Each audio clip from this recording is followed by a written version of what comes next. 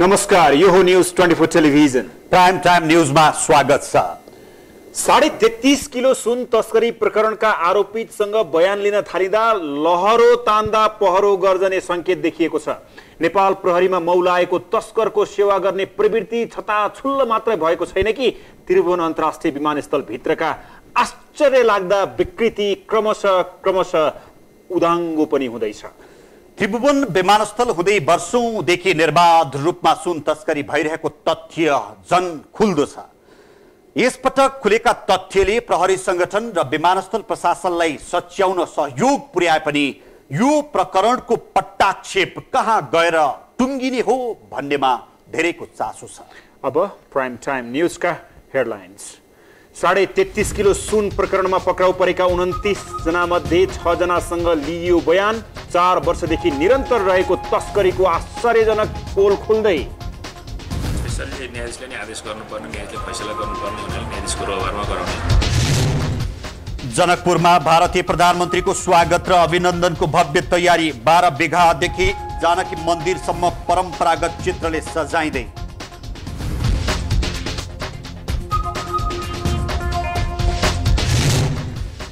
भारतीय प्रधानमन्त्री मोदीको नेपाल भ्रमणसँगै रामायण सर्किटको पनि चर्चा। रामायण ग्रन्थसँग जोडिएका नेपाल सहित विभिन्न मुलुकलाई धार्मिक सर्किटबाट जोडिने। र अब अहिले भारतीय प्रधानमन्त्री मोदीज्यूको भ्रमण। स्वतन्त्र र निष्पक्ष समाचारको वकालतसहित प्रेस स्वतन्त्रता दिवस मनाइँदै नेपालमा प्रेस स्वतन्त्रता उल्लङ्घनका घटना पछिल्लो पाँच वर्षताकै उच्च। हकदारी मुद्दा लगाउने प्रावधान राखिएको छ।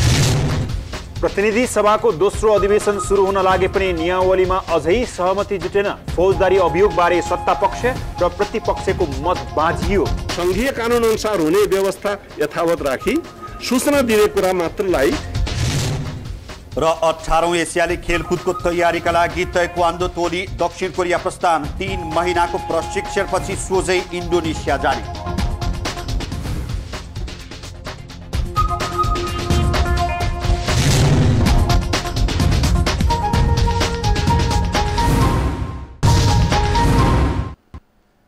हामी निरन्तर न्युजमा छौँ। साढे तेत्तिस किलो सुन प्रकरण र सनम साक्यको हत्याकाण्डमा संलग्न भएको आरोपमा पक्राउ परेका उन्तिस मध्ये छजनासँग बयान लिइएको छ।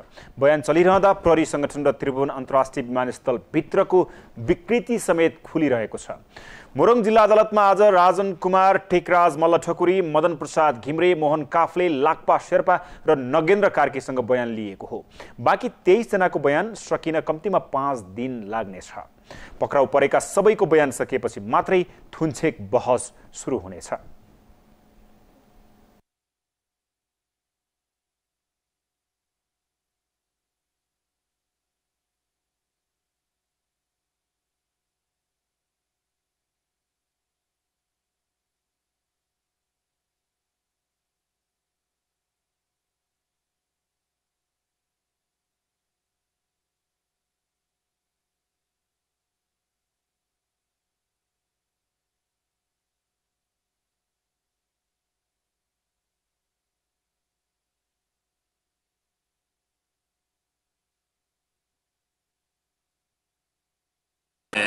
राजन कुमार टेकराज मल्ल ठकुरी माधव भन्ने मदन प्रसाद घिमिरे मोहन काफले लाक्पा शेर्पा कृष्ण भन्ने नरेन्द्र कार्के।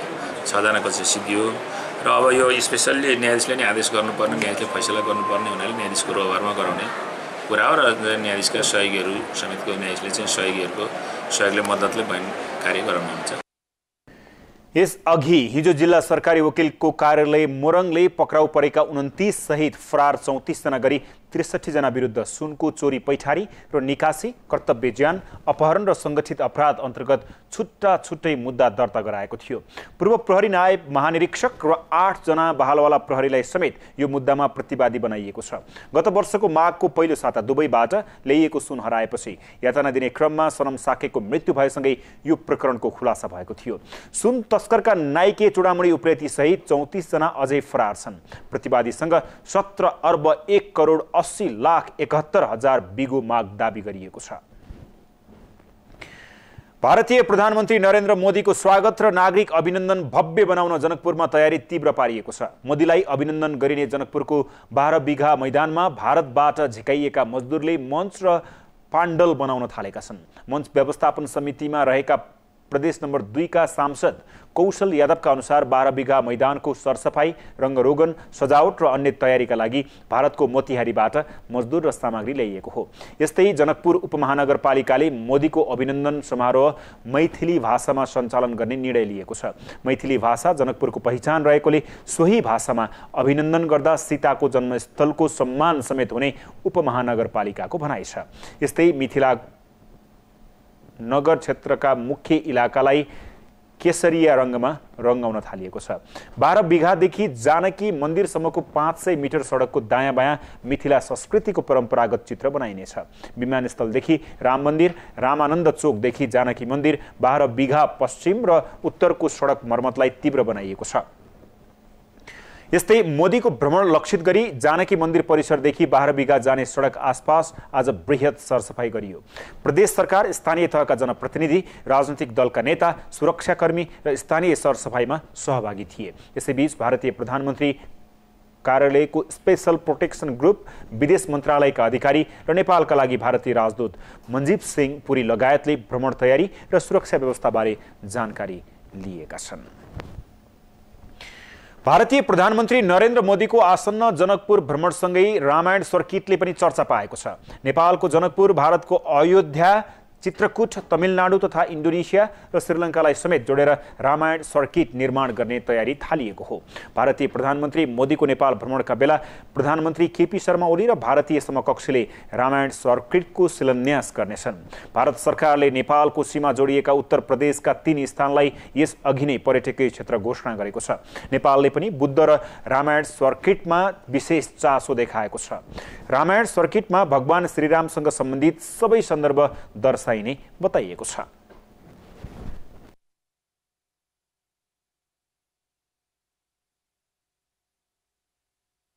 नेपाल र भारतका बिचमा एउटा राम सीताको साइनो पनि निकै निकै मजबुत साइनो छ। त्यो हिसाबले केही अलि अगाडि समयदेखि यो कन्सेप्टमा आइरहेको कुरो हो। र अब अहिले भारतीय प्रधानमन्त्री मोदीज्यूको भ्रमण बाट यो झन् प्रचारित हुने खालको देखिया छ। अहिले सर्किटको कुरा गर्नुहुन्छ भने सुरुमा अयोध्यादेखि जनकपुरसम्मको इनिसियल स्टेजको कुरा छ। सर्किटका लागि भारत सरकारले दुई सय पैँतालिस करोड रुपियाँ बराबरको परियोजनाको पहिलो चरणमा अयोध्याका लागि प्रस्ताव गरेको छ। रामायण ग्रन्थ अन्तर्गत राम सीता जनक रावण बल बाली सुग्रीप हनुमानसँग जोडिएको बाटो भएकोले धार्मिक पर्यटनमा यसले जोड पुग्ने नेपालको विश्वास छ। हामी निरन्तर न्युजमा छौँ। प्रधानमन्त्री केपी शर्मा ओलीले श्रमजीवी वर्गले अब हडताल गर्नु नपर्ने दावी गर्नुभएको छ। नेपाल ट्रेड युनियन महासङ्घ जे फन्डको नवनिर्वाचित केन्द्रीय समितिका पदाधिकारीसँगको भेटमा प्रधानमन्त्री ओलीले सरकार श्रमजीवी वर्ग अनुकूल रहेको भन्दै श्रमिकले माग पुरा नभए आन्दोलन गर्छौँ बन्द हडतालमा उत्रिन्छौँ भन्ने दिन सकिएको दावी गर्नुभएको हो। श्रमजीवी वर्गसँग घनिष्ठ सम्बन्ध रहेकै कारण सरकार न्यायोचित र उत्पादनमूलक बाटोमा अग्रसर रहेको उहाँको भनाइ थियो। भेटमा जेफोर्ड अध्यक्ष विनोद श्रेष्ठले श्रमिकको मासिक र दैनिक ज्याला वृद्धि सामाजिक सुरक्षामा अधिक श्रमिकको पहुँच र श्रम ऐनको पूर्ण कार्यान्वयनका लागि श्रम अडिटको सुरुवात गराउन प्रधानमन्त्रीको ध्यान आकर्षण गराउनु भएको थियो। आज मे तिन स्वतन्त्रता र निष्पक्ष समाचारको वकालत गर्दै विश्व प्रेस स्वतन्त्रता दिवस मनाइँदैछ। सन् उन्नाइस सय त्रियानब्बेमा संयुक्त राष्ट्र सङ्घीय महासभाले अनुमोदन गरेपछि यो दिवस मनाउन थालिएको हो। काठमाडौँमा नेपाल पत्रकार महासङ्घको अगुवाईमा प्रभात फेरी गरिएको छ। नेपाल पत्रकार महासङ्घले प्रेस स्वतन्त्रता हननका घटनामा दण्डहीनता र सेल्फ सेन्सरसिप कायमै रहेको जनाएको छ। न्यायालय नै प्रेस स्वतन्त्रता हननका घटनामा उद्धत देखिएको भन्दै महासङ्घले राष्ट्रिय आम सञ्चार नीति दुई हजार त्रिहत्तरको कार्यान्वयन एवं सूचना तथा सञ्चार सम्बन्धी कानुनी र संरचनागत व्यवस्थाका लागि सरकारसँग माग गरेको छ।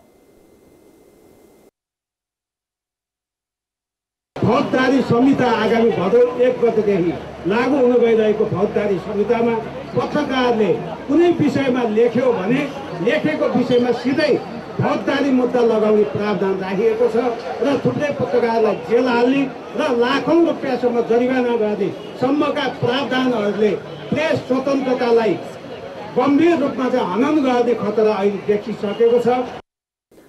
दिवस मनाइरहँदा नेपालमा यस वर्ष प्रेस स्वतन्त्रता उल्लङ्घनका घटना पछिल्लो पाँच वर्ष यताकै उच्च देखिएको छ। फ्रिडम फोरमको प्रतिवेदन अनुसार सन् दुई हजार तेह्रमा प्रेस स्वतन्त्रता उल्लङ्घनका एक सय एकतिस घटना भएको थियो। त्यसपछिका वर्षमा केही कमी देखिए पनि सन् दुई हजार सत्रको मेदेखि दुई हजार अठारको अप्रेलसम्म छैसठीवटा घटना हुँदा दुई सयभन्दा बढी सञ्चारकर्मी प्रभावित भएका छन्। फोरमका अनुसार यस वर्ष भएका छैसठी घटनामध्ये चौधवटा आक्रमण आठजना पक्राउ तेह्रजनामाथि हातपात चौध जनालाई ज्यान मार्ने धम्की र सोह्रवटा अवरोधका घटना भएको हो। अधिकांश घटना राजनीतिक मामिलासँग जोडिएका छन्। अब मेन न्युज।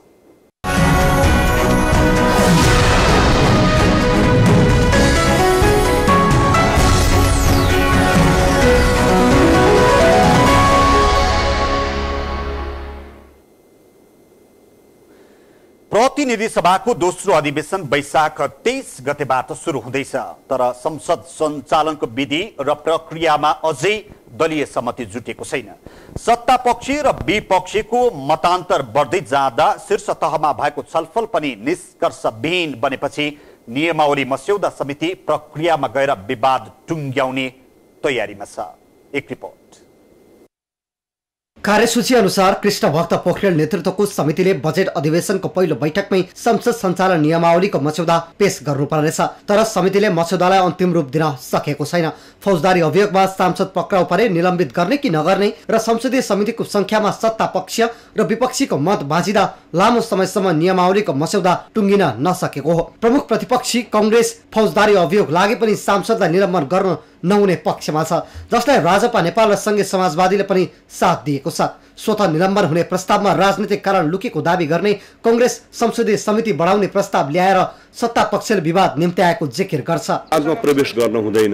गर्ने आवश्यकता हो भने त्यसलाई नयाँ कानुन संशोधन गर्नु पर्यो। त्यो छुट्टै प्रक्रिया छ। कानुनमा व्यवस्था गरौँ। अहिले भनेकै छ सङ्घीय कानुन अनुसार हुने व्यवस्था यथावत राखी।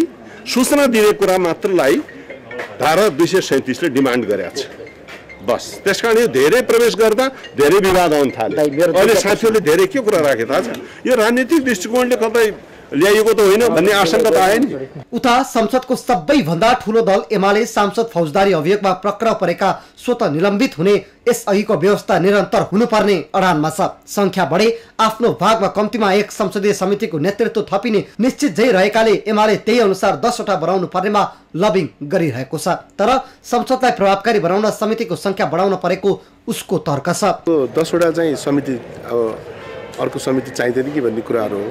र अर्को एउटा चाहिँ भने के भन्दाखेरि जसलाई चाहिँ अभियोग लागेको छ फौजदारी भनौँ विशेष गरेर प्रहरीले पक्रिसकेपछि या त अदालतमा बुझाइसकेपछि अदालतले गर्ने निर्णयलाई चाहिँ स्वीकार्नुपर्छ भन्ने हाम्रो मान्यता हो। यो मान्यतासँग जोड्दाखेरि के भन्दाखेरि केही सांसदहरूको चाहिँ मान्यता भोलि के यसले अर्को उपाय रचाउला कि भन्ने चाहिँ एउटा आशंका मात्रै हो यो। सांसद फौजदारी अभियोगमा पक्राउ परे स्वत निलम्बित हुने प्रस्ताव प्रति सशङ्कित सत्ता साझेदार माओवादी केन्द्र संसदीय समिति भने दसवटा बनाउन एमालेसँग सहमत छ। मुख्य दुई विवाद टुङ्ग्याउन सभामुखको पहलमा बिहिबार संसदमा प्रतिनिधित्व गर्ने पाँच दल बीच छलफल भएको थियो तर दलहरूले पुरानै अडान दोहोऱ्याउँदा सहमति जुटेन। दुई महिनादेखिको विवाद जहाँको त्यही रहेपछि पोखरेल नेतृत्वको समिति मतदानमा लगेर भए पनि नियमावलीको मस्यौदा टुङ्ग्याउने पक्षमा छ। तर शीर्ष नेताहरूको देशका विभिन्न दे ठाउँमा कार्यक्रममा जाने कारणले गर्दा हुन सकेन र आज सेकेन्ड तहका नेताहरू उपस्थित हुनुभयो। अझ पनि फेरि एकपटक शीर्ष तहमा बस्दाखेरि कोही टुङ्गन्छ कि? भोलि एक दिन टाइम छ। हेरौँ भन्ने त्यहाँ चाहिँ राजनीतिक दलका मान्यजी नेताजीहरूको चाहिँ विचार आएको हुँदा भोलि एक दिनलाई हेरियो।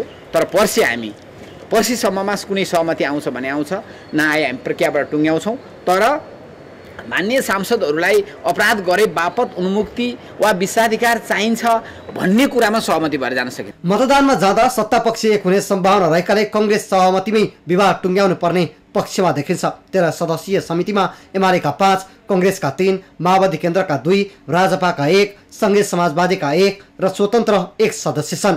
मतदान नै भए स्वतन्त्र एक सहित एमालेको पक्षमा आठ र कङ्ग्रेसको प्रस्तावमा पाँच मत। पर्ने देखिन्छ। न्युज ट्वेन्टी टेलिभिजनका लागि क्यामेरामा श्याम हरिपुडा सैनिकका साथ टिभी जर्नलिस्ट अङ्गराज नेउपानेको रिपोर्ट। प्रहरी महानिरीक्षक सर्वेन्द्र खनालले चन्दा आतंकलाई निर्मूल पार्ने दावी गर्नुभएको छ। नेपाल चेम्बर अफ कमर्सले आयोजना गरेको अन्तर्क्रियामा महानिरीक्षक खनालले चन्दा आतंक भए प्रहरीलाई खबर अथवा सूचना दिन भन्दै डर त्रास र धम्कीबाट नडराई व्यवसाय सञ्चालन गर्न उद्योगी व्यवसायीलाई आग्रह पनि गर्नुभएको हो।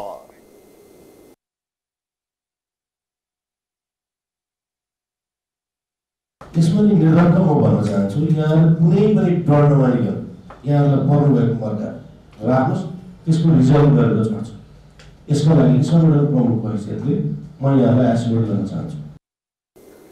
राति दस बजेभित्र बजार बन्द गरेर व्यवसायी सुरक्षित नहुने भन्दै महानिरीक्षक खनालले व्यवसायीको सुरक्षामा नेपाल प्रहरीले विशेष सुरक्षा व्यवस्था अप्नाउने आश्वासन पनि दिनुभयो। कार्यक्रममा उद्योगी व्यवसायीले चन्दा आतंक डर र धम्की बिना ढुक्कसँग काम गर्ने वातावरण हुनुपर्नेमा जोड दिएका थिए। अब हेल्थ।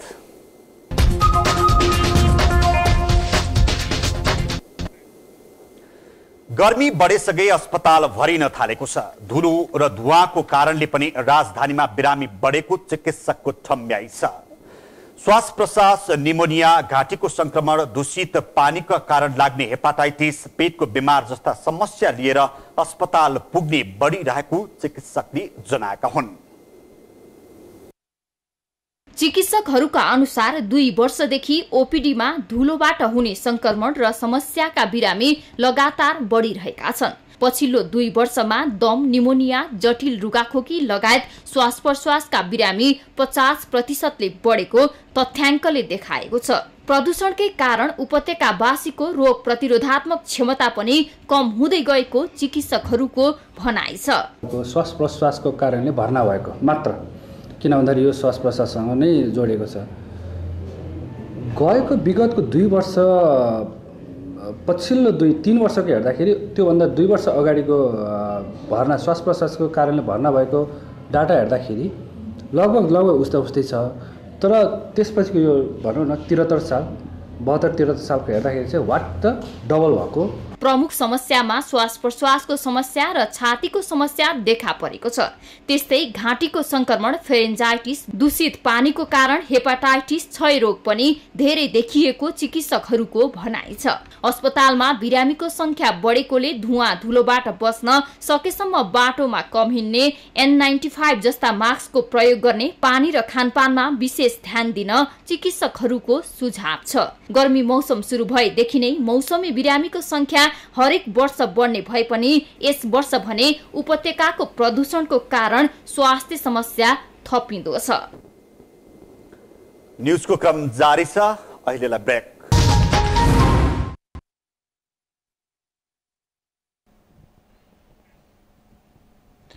हामी निरन्तर न्युजमा छौँ। इलामको पशुपति नगरबाट कञ्चनजङ्घा बेस क्याम्पसम्म पुग्नको लागि वैकल्पिक नयाँ बाटोको अध्ययन सुरु भएको छ। नेपाल पर्यटन बोर्ड र मेची पहाडी क्षेत्र पर्यटन प्रबन्धन विकास समितिको सहकार्यमा सात लाख रुपियाँको खर्चमा अध्ययन थालिएको हो। नेपालको कञ्चनजङ्घा बेस क्याम्पमा वार्षिक चालिस हजार पर्यटक पुग्ने गरेका छन् जसमा नेपाली बाटो भएर चार सय पर्यटक मात्र पुग्ने गरेका छन्। यसरी नेपाल प्रवेश गर्ने धेरै पर्यटक भारतको बाटो भएर प्रवेश गर्ने भएकोले नेपालबाट वैकल्पिक बाटो अनिवार्य सञ्चालन हुनुपर्ने महसुस गरेर यो मार्गको अध्ययन सुरु गरिएको हो। उन्नाइस दिनको समय लगाएर पदमार्गको अध्ययन गरिनेछ। अध्ययन टोलीले रिपोर्ट तयार पारेपछि यो पदमार्ग नेपाल पर्यटन बोर्डले सञ्चालन गर्नेछ। अब ट्वेन्टी फोर स्पोर्ट्स।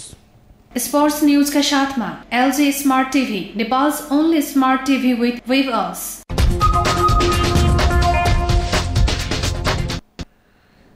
इन्डोनेसियामा हुने अठारौँ एसियाली खेलकुदको तयारीका लागि नेपाली राष्ट्रिय तेक्वान्दो टोली दक्षिण कोरिया प्रस्थान गरेको छ।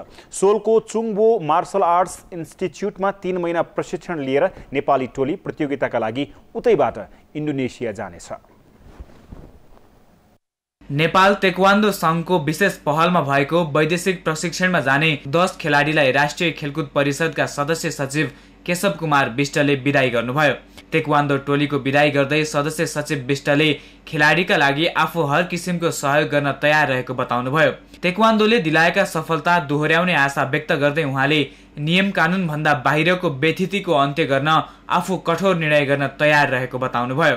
राम्रा खेलाडी असल खेलाडीले राष्ट्रका लागि पदक ल्याउने देशका लागि पदक ल्याउने कुरामा कुनै खेलाडीमाथि अन्याय तरवारी त्यो कुरामा हामी प्रष्ट छौँ। प्रष्ट छु।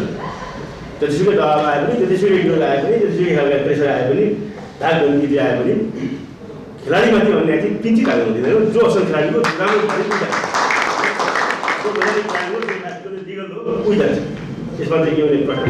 प्रशिक्षक सङ्गिना वैद्यको नेतृत्वमा रहेको तेक्वान्दो टोली समान पाँच महिला र पुरुष खेलाडीले कोरियामा प्रशिक्षण लिनेछन्। खेलाडीहरू कोरियाबाट सोझै इन्डोनेसियामा हुने एसियाली खेलकुदमा सहभागी हुनेछन्। एसियाली खेलकुदका लागि पुरुषतर्फ अन्ठाउन्न केजी मुनि सागर गुभाजु त्रिसठी केजी मुनि वीरबहादुर महरा अडसठी केजी मुनि ज्ञानेन्द्र हमाल अस्सी केजी मुनि भूपेन श्रेष्ठ र अस्सी केजी माथि अनुज पुजारी तथा महिलातर्फ उनान्चास केजी मुनि अस्मिता खड्का त्रिपन्न केजी मुनि निमा गुरुङ सन्ताउन्न केजी मुनि ज्ञानी चुनारा सडसठी केजी मुनि सङ्गीता बस्याल र सडसठी केजी माथि निशा रावलले खेल्नेछन्। अब इन्टरनेसनल न्युज भारतको उत्तरी राज्यमा गैराती चलेको हावाहुरीका कारण अहिलेसम्म कम्तीमा एक सय सातजनाको मृत्यु भएको छ। आदिमा परि उत्तर प्रदेशमा चौसठी र राजस्थानमा त्रिचालिसजनाको मृत्यु भएको हो। दुवै राज्यमा एक सय त्रिचालिसजना घाइते भएका छन्। हावाहुरीबाट भएको क्षतिको पूर्ण विवरण आइ नसकेकोले घाइते र मृत्युको सङ्ख्या बढ्ने अनुमान छ। अधिकारीहरूका अनुसार केही व्यक्ति हराइरहेका छन्। अधिकांश घर र कार्यालयका पर्खाल भत्किएको छ। उत्तर प्रदेशको आगरा जिल्लाबाट ताजमहल जाने बाटो बढी प्रभावित छ। त्यहाँ बढी जसो मानिस रुख ढलेर घाइते भएका छन्। उत्तर प्रदेश र राजस्थानका कम्तीमा पनि पचहत्तर जिल्लामा हावाहुरीले धेरै क्षति पुर्याएको राजस्थान प्रहरीले जनाएको छ। अब twenty four weather.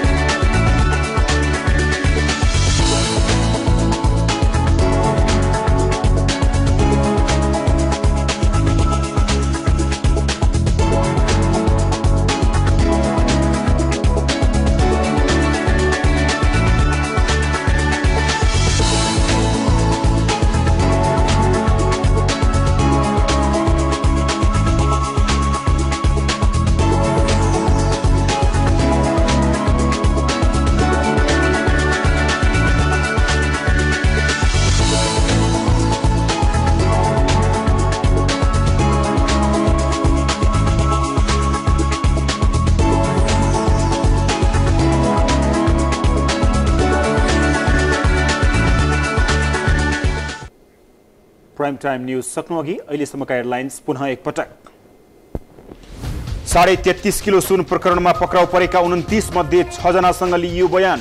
चार वर्षदेखि निरन्तर रहेको तस्करीको आश्चर्यजनक पोल खुल्दै। स्पेसल्ली न्यायाधीशले नै आदेश गर्नुपर्ने न्यायाधीशले फैसला गर्नुपर्ने हुनाले न्यायाधीशको रहरमा गराउने। जनकपुरमा भारतीय प्रधानमन्त्रीको स्वागत र अभिनन्दनको भव्य तयारी। बाह्र बेगादेखि जानकी मन्दिरसम्म परम्परागत चित्रले सजाइँदै।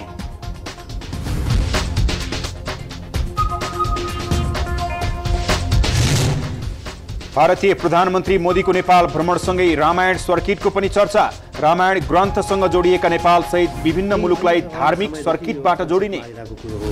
र अब अहिले भारतीय प्रधानमन्त्री मोदीजीको भ्रमण। स्वतन्त्र र निष्पक्ष समाचारको वकालतसहित प्रेस स्वतन्त्रता दिवस मनाइँदै नेपालमा प्रेस स्वतन्त्रता उल्लङ्घनका घटना पछिल्लो पाँच वर्षताकै उच्च। मुद्दा लगाउने प्रावधान राखिएको छ। प्रतिनिधि सभाको दोस्रो अधिवेशन सुरु हुन लागे पनि नियावलीमा अझै सहमति जुटेन। फौजदारी अभियोगबारे सत्ता पक्ष र प्रतिपक्षको मत अनुसार हुने व्यवस्था यथावत राखी सूचना दिने कुरा मात्रलाई र अठारौँ एसियाली खेलकुदको तयारीका लागि तेक्वान्दो टोली दक्षिण कोरिया प्रस्थान। तीन महिनाको प्रशिक्षणपछि सोझै इन्डोनेसिया जाने।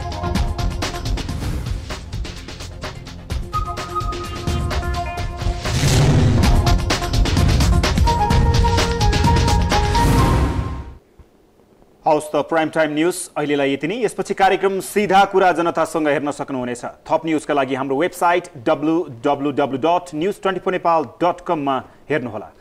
साथै हामीलाई फेसबुक ट्विटर र युट्युबमा पनि फलो गर्न सक्नुहुनेछ। अहिलेलाई बिदा दिनुहोस्। हामी निरन्तर न्युजमा छौँ। नमस्ते।